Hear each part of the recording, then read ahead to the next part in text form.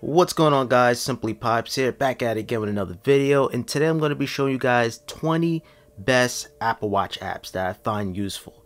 So sit back and enjoy 20 applications to go through. Now this is the watch face I use basically at a daily basis. I have my speedometer, battery, my LIFX smart bulbs, my TV remote, my smart TV remote I should say. I have my weather there, calendar, and I have my activity there. So this is the perfect watch face for me. Now even sometimes I might switch to the infograph if I'm going to the parties or whatever. I like this watch face so much. This is amazing, especially if you have the Series 5 with that always on display. But without further ado, let's just get right into the applications. Now the first app we have is called Carrot. Now Carrot is the best weather application in my opinion for your apple watch especially. Uh, it gives you everything here. So it gives you the weather from 12 p.m to 9 p.m 48 degrees pretty cold. And if I go down you can see the forecast. Saturday is gonna rain. Sunday's definitely rain. It shows the temperature and the weather condition versus the stock. It only gives you either the temperature and then you have to make another complication for the weather condition. So this one here combines two complications into one uh, you know, complication, which is pretty nice. The next app we have is called Bear. So I'm at to go into my home screen, which by the way, I think this is the best way to interact uh, with your Apple Watch on the home screen. I think Apple should have the row of icons just like iOS. Now with this application, it's going to allow you to take down notes using dictation on the Apple Watch. So I'm going to create a new note. What's going on everybody? This is the application called Bear and it is a staple one because you can jot down notes using dictation. Period. And it is that simple. So quickly take down notes without taking out your phone or iPad. And as you guys can see right on my iPhone, just like that. You can also extend the note too if you like. So you can tap on that. You can either do dictation again. You can swipe the keyboard or you can use the swipe or emojis and this is just me saying anything. Period. And then done. And it's gonna add right on. So yeah, Bear staple application on the Apple Watch. Now next up this app is called Harmony Watch and this is really for whoever have the Logitech Harmony Hub. This is gonna allow you to control your PS4, your TV, your cable box, anything you got you can control it. It's a smart remote. The playstation i have my fire stick assigned to netflix cable box the news so it's automatically going to change to the news channel and i got my nintendo switch on the bottom. But i mostly use my ps4 anyway for everything. The fire stick mostly for movies. But this is the logitech harmony remote. I made a video on it and yeah it's still going strong to this day. The buttons are fading a little bit. It's showing its age but for the most part, this is an app. Instead of using the remote, you have your Apple Watch to control your your home system. Yeah, I highly recommend it if you have a Logitech Harmony remote. If not, then this app is completely worthless. And that's one of the reasons why I have it as a complication because it's always there whenever I need it. Next, we have an app called LIFX, but this is basically a smart bulb so you can control the lights. The only thing I don't like about this app, you cannot change the colors. I wish there was a way you could change the colors on the Apple Watch app, but you can use Siri. Um, let me just show you guys. Make the light color red.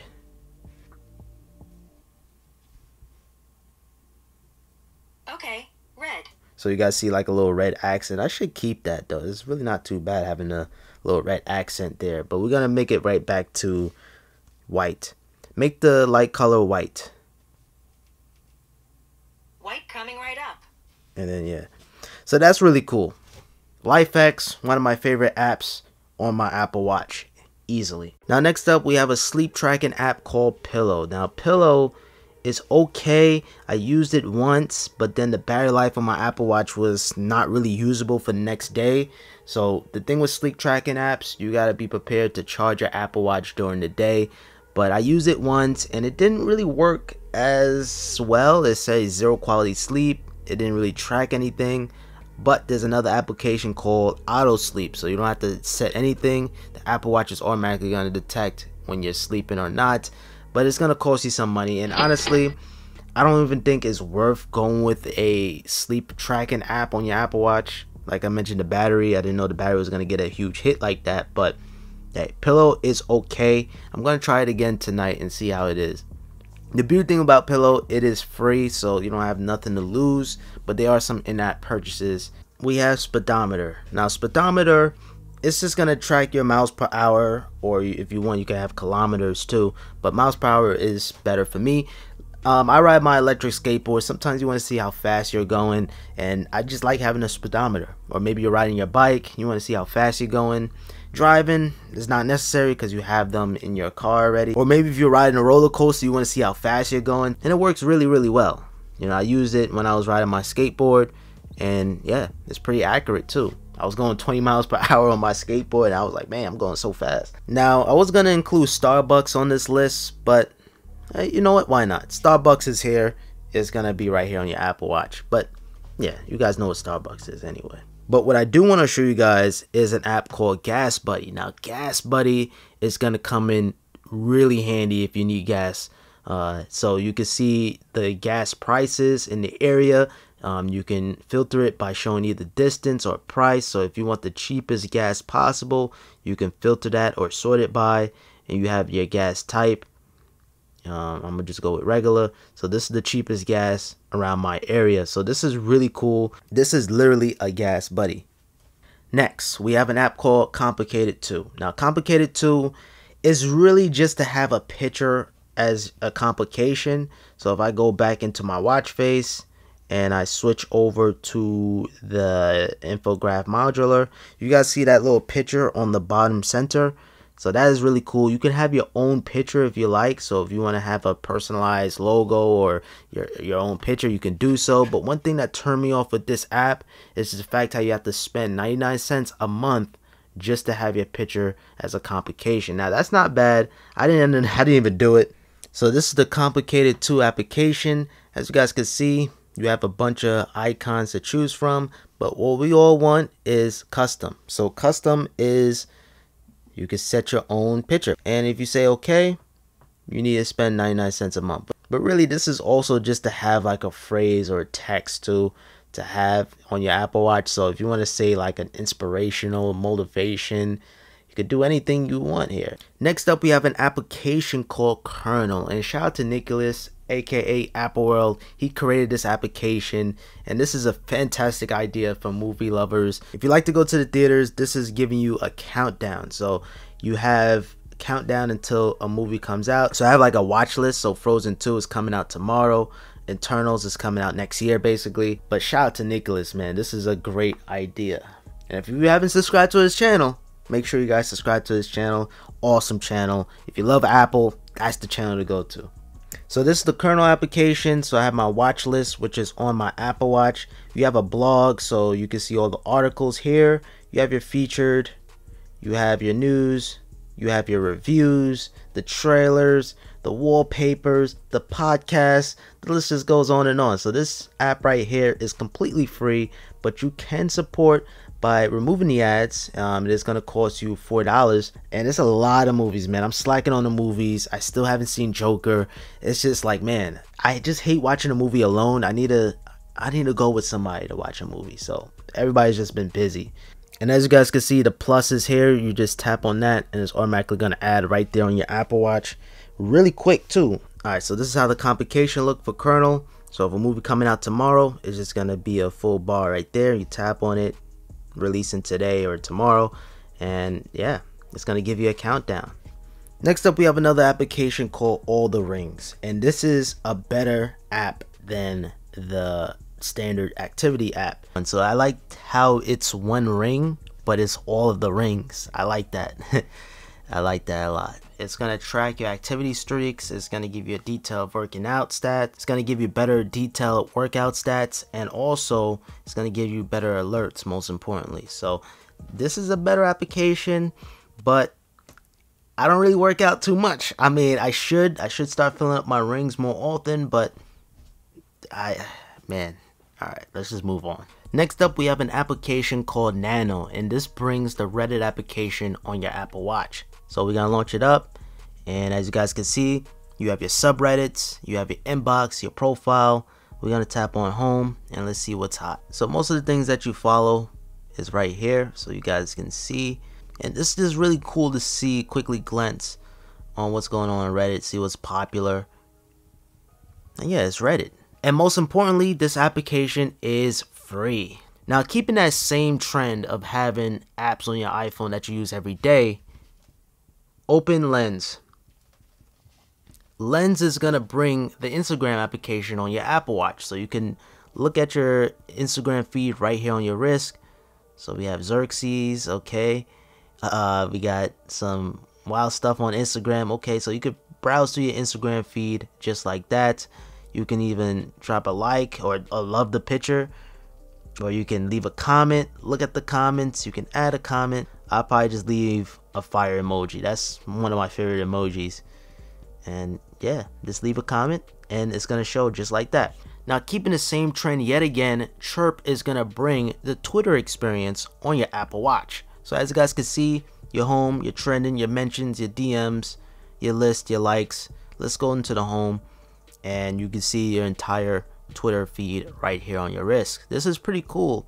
And these applications are free. That's the beauty part about it. You can see what's going on on your Instagram feed. This is pretty cool. Follow me on Twitter at Simply Pops, by the way, but these are all my mentions here. Yes, sir. Next up, this one here is called Pedometer Plus Plus. Now, it is free. I know that plus plus name kind of like, oh, this is a paid app, but it's completely free and it's to track how many steps you took during the day. So, as you guys can see, 844. If I tap on it, it tends to like update sometimes. But uh, yeah, so that is exactly 0.4 miles, one floor. So it gives you a nice little graph on your most movement times. Um, I always move 12 o'clock in the middle of the night. But uh, yeah, this is really cool. And of course, you can start a run. And yeah, I don't really do that kind of stuff, but you have that option. But it's really accurate. When I was walking around in New York City, I took 20,000 steps, 18,000 to be exact. But it's really accurate and it's really cool. Alright, next we have an app called Battery Phone and it's going to allow you to track your battery on your Apple Watch and on your phone. So my phone's battery percentage is 80, my watch battery percentage is 69. And yeah, that's basically what this app does. It just it keeps a track on your battery percentage. And yeah, I mean, it's pretty cool. If your phone is upstairs and you want to see what's your battery percentage, you can do so right here on your wrist. But you guys can see it's kind of small too, but 80%, 69 on the Apple Watch. Next up, we have an app called iTranslate, and this came in handy. Quick little story I was in a Spanish church, I was invited. I didn't know it was gonna be like all Spanish, so I quickly downloaded this app on my iPhone.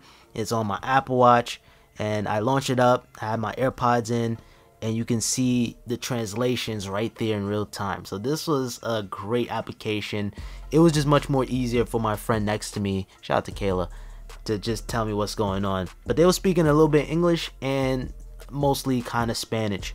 But uh, for the most part, this app right here, you could translate. So it uses dictation and it's going to translate it. So right now it's going to translate that into Spanish. So when someone's talking in Spanish, hola, um, buenos dias. I don't know. I'm I'm terrible at Spanish, man. Next, we have an app called Countdown, and Countdown is just gonna let you set a countdown. So the only countdown I have right now is my birthday. My birthday is in eight days. You guys can see it's very very self-explanatory. Yeah, this is the countdown application. It's very very easy to set a countdown. There's a plus button on the top left. You just pick a name, testing, I guess. You pick tomorrow, pick a wallpaper, and then this is most important. You got to make sure you have the show on Apple Watch toggle. So that is super important. And then you're going to just tap on done. And then now it should makes its way onto the Apple Watch. So as you guys can see, the test is zero days tomorrow. Yeah, that's it. Now I wish they had like some kind of uh, Apple Watch complication route you going into the app to see your countdown.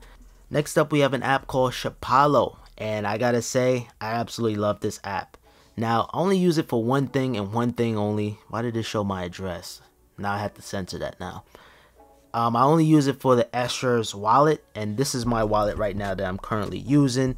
Absolutely love it. So if I lose my wallet, I can use my Apple Watch, and it's gonna ping my wallet. So And once you maybe find your wallet, you can either interact with the app or you press the button. So when I'm taking out my credit card, it's so many wow factors. I just press this button, bloop, take out my Apple card, bloop. And you know what's even cooler about this app or this wallet, I should say? You can ask Siri, ring my wallet. There we go. That's done. And that's the wallet making noise. Next up, we have an app called Cheat Sheet, and it is very, very similar to Bear. But the thing with Bear, it doesn't have a complication. It's only going to just take you to the app. But if I launch it up, it lets you jot down some notes on your Apple Watch. You can edit it up, you can delete it, replace it. You have your complication right here on the front. So, hello YouTube, I have right there. And it's very, very easy to see right there on your watch face. So that is really cool, and I highly recommend Cheat Sheet. Now this app right here called AnyList is going to allow you to have a grocery list or shopping list, whatever the case may be. If you tap on something, you can cross it out just like that to let you know that you got it. Um, it's very, very easy to search for an item or add an item, I should say. So if I type in apples, it's automatically going to give you the suggestions right there. You have apple juice, you have uh, apple sauce, apple cider. So you have a lot of good um, suggestions right there. But the problem with this app that I have, you will need to upgrade to the full version of this application, which is going to cost you $10 a year. So every single year, you're going to get charged $10. And that's going to allow you to access your shopping list on your PC, your Mac, your Apple Watch. I included it on the list if you guys are interested of having a shopping list on your on your Apple Watch. But if you use the application called Bear and um, I don't know cheat sheet, you could be able to accomplish this easy. But I like the fact how this is a list and you can cross it out easy. But yeah, so AnyList is an iPhone app, but you have to pay to get the Apple Watch app. And guys, that's pretty much it for this video. I hope you guys enjoyed. If you guys did, I appreciate it with a thumbs up. Comment down below if you guys want to see a part two. I'm more than happy to make one. And yeah, other than that, your boy Pops. Make sure you guys subscribe notifications on. And I'm out. Peace.